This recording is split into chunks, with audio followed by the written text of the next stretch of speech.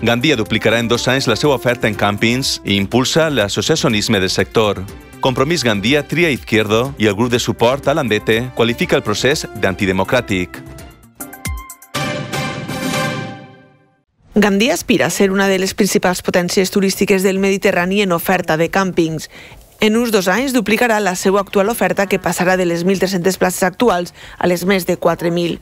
Serà quan estiga definitivament en marxa Ojai Gandia i és que el nou repte del Departament de Turisme de Gandia passa per impulsar l'oferta de càmpings i ho farà amb una major presència de la ciutat i els seus allotjaments en les fires internacionals d'aquest sector amb l'objectiu de posicionar-se com a destí de referència per als amants d'un turisme que sempre s'ha caracteritzat pel seu contacte amb la natura en estar en un espai obert.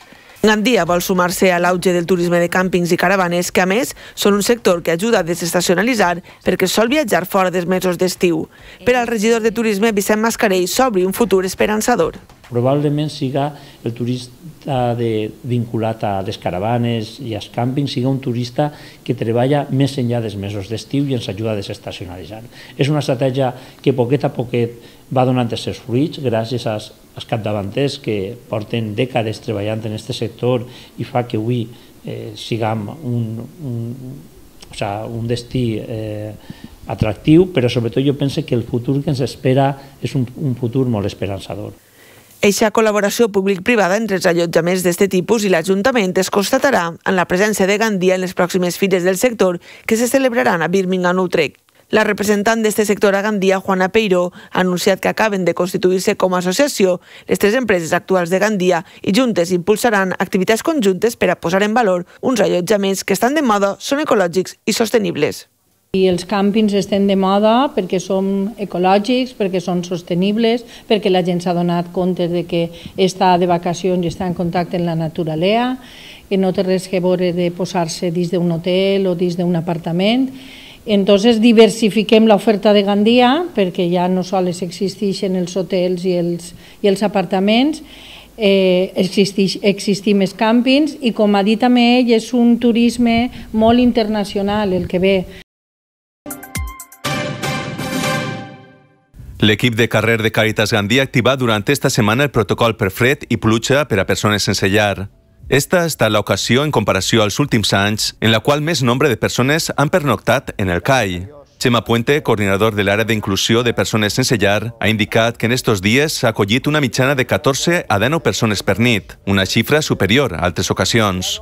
El motiu, segons Puente, es deu al fet que hi ha més gent sense llar i al fet que el perfil de la població de carrer és diferent, ja que es tracta de persones amb greu risc d'entrar en l'exclusió social, que no porten massa temps vivint al carrer o que s'ofreixen exclusió residencial. Es tracta, en definitiva, d'un perfil emergent molt vulnerable. El dissabte realitzaven les primàries de Compromís per Gandia, on Alicia Izquierdo era confirmada com a candidata a l'alcaldia de Gandia després d'aconseguir més del 86% dels vots dels militants, amb una participació de 75%. Per darrere han quedat Esther Sapena en segon lloc, seguida per Daniel Muñoz i Rafael Ferrer. Izquierdo reconeixia que han passat unes setmanes convulses, prèvies a la seva elecció com a candidata, al mateix temps que feia una crida per a sumar a tots els que vulguin continuar treballant pel valencianisme polític. Això pel que fa al resultat del procés de primàries en compromís, però també hi ha hagut temps per a la polèmica. El grup de suport del fins ara líder de la formació nacionalista, Josep Alandete, s'ha pronunciat en un comunicat sobre el procés per a triar la candidatura i insisteixen que s'ha impedit la participació de simpatitzants i que no s'han donat suport als fonaments que havien caracteritzat fins ara a l'organització. Manifesta este grup de suport de l'Andete que sense les pràctiques antidemocràtiques diuen que es van produir el passat 6 de setembre, el resultat hagués estat un altre. Al final, segons apunta el comunicat, 4 de cada 10 militants en dret a vot han donat l'esquena a l'Icia Izquierdo, la qual cosa apunta a un allunyament entre les decisions que prenen els dirigents del partit i les seues bases.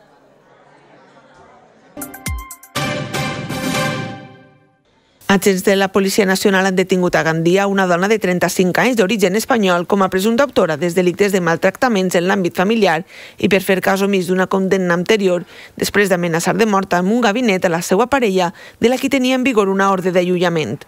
Els fets van ocórrer dilluns passat sobre les 9 de la nit quan els policies van ser comissionats per la sala del 091 perquè acudiren a un domicili de la ciutat on pel que sembla una dona estaria amenaçant amb un ganivet al seu company sentimental.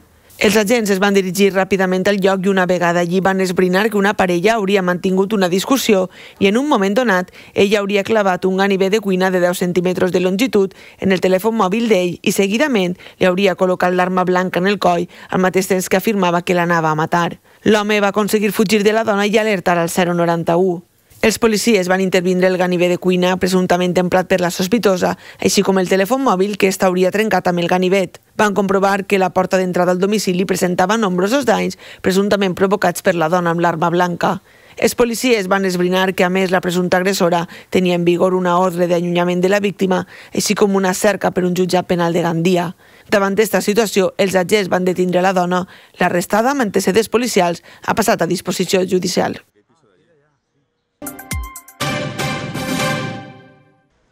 Gandia i la Fundació Miram han iniciat un programa denominat Bebe Mirades per a la detecció precoç del trastorn de l'espectre autista. El projecte intenta detectar, com més de pressa millor, a tots els xiquets que puguen tenir o mostrar indicadors relacionats amb el trastorn d'espectre autista, conegut com TEA. El projecte s'iniciarà en la xarxa d'escoletes infantils, però amb la intenció que arribi també als diferents col·legis de Gandia. Recordem que actualment a Espanya una de cada 100 persones té autisme, la qual cosa suposa que més de 450.000 ciutadans espanyols sofreixen este trastorn de l'espectre autista. En Fundació Mira Mengandia fa ja molts anys que estem en una aposta important per a poder arribar a totes les persones de la comarca de, de la Safor. Es un proyecto de vigilancia de la salud basado específicamente en comunicación social e interacción social, desde los cuatro meses hasta los 36 meses y esto eh, va a hacer, como decías, también que la posibilidad de reducir el impacto tanto a nivel social, emocional y económico que tiene el autismo actualmente en la sociedad. Anem a introduir un programa que s'anomena BB Mirades, que és un programa, un projecte que el que intenta és eh, detectar el més ràpidament possible tots aquests xiquets i xiquetes de l'aspecte autista, el que coneixem com la, la TEA, no? En la gala de lliurament de premis dels curtmetratges fallers del divendres, les comissions falleres que es van emportar els banderins van ser Marquès de Campo Perú, en cinquena posició, quarta per a Jardinet, Prado, que va ser tercera, segon premi per a Màrtirs, i el millor curt va ser realitzat per la falla Sant Nicolau Mosquit. Si anem per categories, el Fede a millor actriu se'l van portar finalment Karina Espí, de la Falla República Argentina. Millor actor per a Jorge Llorca, de Marquès de Campo Perú. Fede a la millor direcció per al curtmetratge presentat per la Falla Sant Nicolau Mosquit. Millor comèdia per a Marquès de Campo Perú. I el premi al guió se l'emportava la Falla Serpis. Recorden que poden veure els curtmetratges així com la gala de lliurament de premis en la web telesafor.com.